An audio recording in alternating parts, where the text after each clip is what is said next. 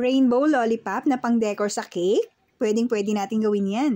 At dahil yung cake natin ay may decoration na ganito, so gawa na lang tayo dahil mahirap din makabili nito dito sa lugar namin. Hindi ko alam kung saan makakabili actually. At wala na rin time dahil nga rush order na ito.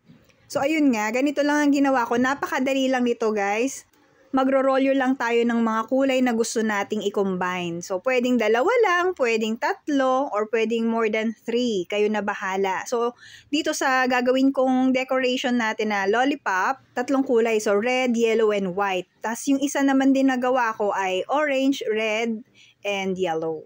So, eto, ipapakita ko sa inyo kung paano ko lang siya ginawa. Nirolyo ko lang yung mga fondant and then pinag-combine-combine ko lang sila. Sinwirl ko. Dahan-dahan lang talaga yan na pero mabilis kasi sa video. So, ayan na yung talagang dahan-dahan lang. Dapat dahan-dahanin lang natin kasi nga para maiwasan natin yung mapunit siya, masira siya. Kasi pag nasira, pangit na yan. So, ayan o, nakita nyo na o. Maganda na siya, ba? Parang candy na talaga.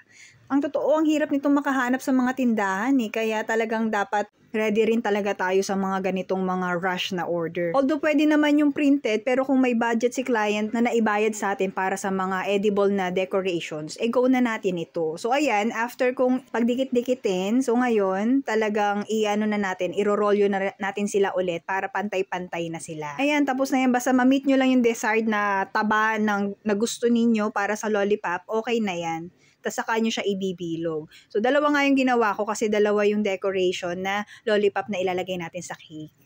Yung una nga kasi nang nagawa ko yung orange, red, at saka yellow. Nakakainis nga. Akala ko nagre-record. Hindi pala nagre-record. Nakakainis sayang. Buti na lang dalawa yung gagawin ko. So, ito lang ang na-record natin. Yung pangalawa kong gawa. Kainis, di ba? Sayang lang. So, buti na lang dalawa yung gagawin ko. Kaya, ito, na-record ko tong isa.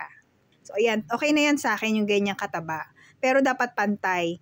Yung iba nga ano eh, yung sa gitna nga masyado nang napaano ko, napapayat. Pero dito sa dulo kita nyo, inaano ko. Pinapapayat ko pa siya. Kasi nga, mataba. So yan, pwede na yan. Iikot na lang natin yan. And tapos na yan. Tapos didikitan na lang natin na, or tutusukan na lang natin siya ng stick. Iikot lang natin siya ng pabilog. So, saktong size lang naman tong ginawa kong to. Pero kung gusto nyo na mas malaki, edi mas mahaba lang talaga yung iro-roll nyo yung kulay. Kulay. Kulay. So, ayan. And then, gugupitin lang natin or ikakat lang natin yung pinakadulo ng paslan. Ayan, okay na yan. Ayusin ko lang yung mga gilid-gilid para hindi siya yung mabukol-bukol. Kailangan kasi bilog. So, okay na yan. And tutusukan na lang natin ng lollipop stick. Ang ginawa ko dyan, para tumigas, dahil nga rush siya, nilagyan ko na lang ng chocolate sa likod. Ayan yung isa kong ginawa. So, yun lang for today's video. Sana may natutunan kayo. Thank you for watching. Babush!